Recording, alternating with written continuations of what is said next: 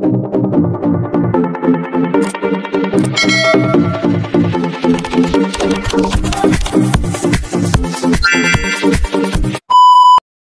Isabel, ano masasabi mo kay Fidel at Clyde?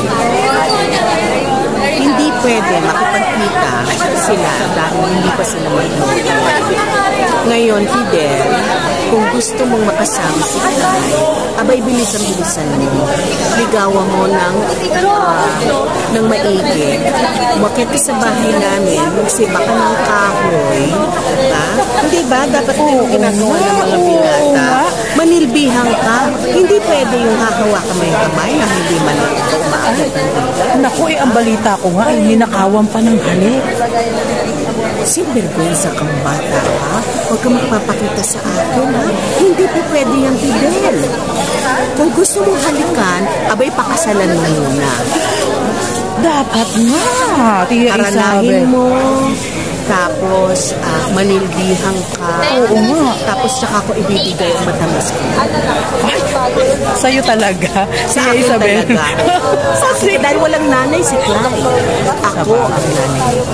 Sa bagay. Sige, sabihan ko si Fidel. Thank you, Tia Isabel. Ande, gracias. Ah, gracias. Hello, Miss Clay. Ano po yun, Kapitana Tika? May itatanong ako sa'yo. Ikaw ba talaga'y nahulog na ang iyong pag-ibig kay Fidel? Hmm,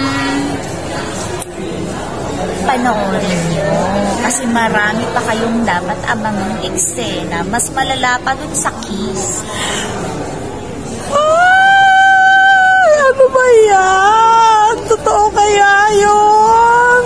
Sige na nga, aabangan ko yan. Hmm? Baka naman kinulam mo lang si Fidel. Hoy, hindi ah. Maganda ako, no? Hindi ko kailangan gawin yun. Sorry. Ganda lang. yes. Ah, Fidel? Yes po, Kapitanan.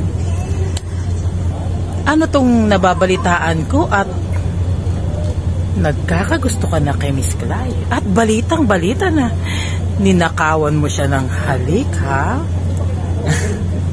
Um, Tika, um, natural lang na na ginagawa yun ng mga ginoo sa mga babaeng napakaganda.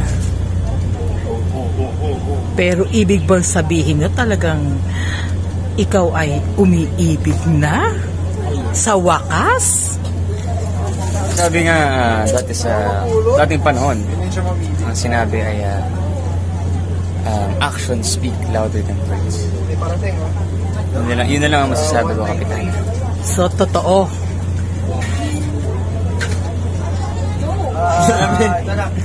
Grabe yung Sige na nga.